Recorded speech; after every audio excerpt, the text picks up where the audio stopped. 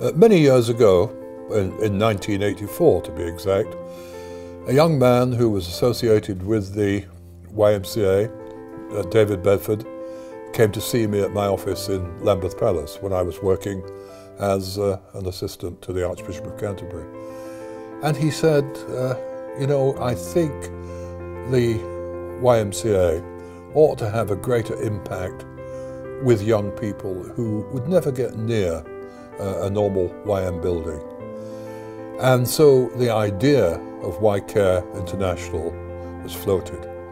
I became the first chairman and uh, when I was captured in Beirut, actually, the chairmanship was taken on by Robert Runcie, Archbishop of Canterbury, who stood in for me, believe it or not, in those years. But more importantly, across the years, we've had such a wonderful following from so many people, people such as yourselves, who've watched our progress with interest and who've supported us. I've often said I never think of our supporters simply as donors.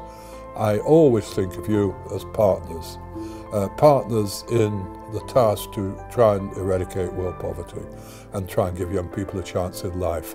Over the years since 1984, countless thousands have been helped. And they've only been helped because of the partnership we've had and your generosity and support.